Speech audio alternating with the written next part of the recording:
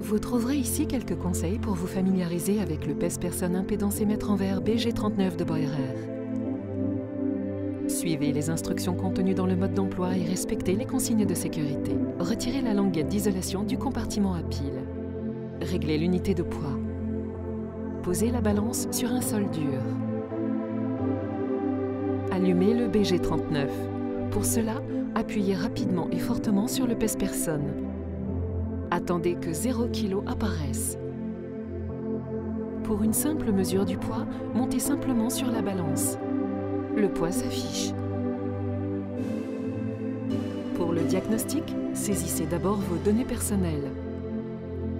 Appuyez sur la touche 7 et sélectionnez un emplacement de sauvegarde libre à l'aide des touches fléchées haut et bas.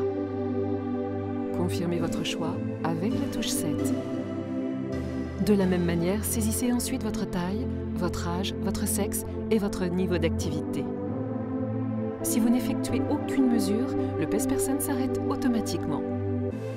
Pour la mesure de diagnostic, allumez le pèse-personne. Sélectionnez votre emplacement de sauvegarde à l'aide de la touche fléchée haut. Votre poids idéal s'affiche, puis 0 kg. Montez sur le pèse-personne pieds nus.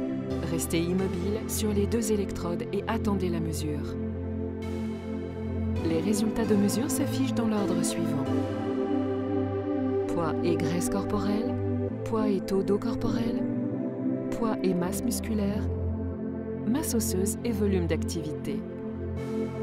Le pèse-personne s'éteint automatiquement. Jusqu'à deux mesures sont enregistrées par utilisateur.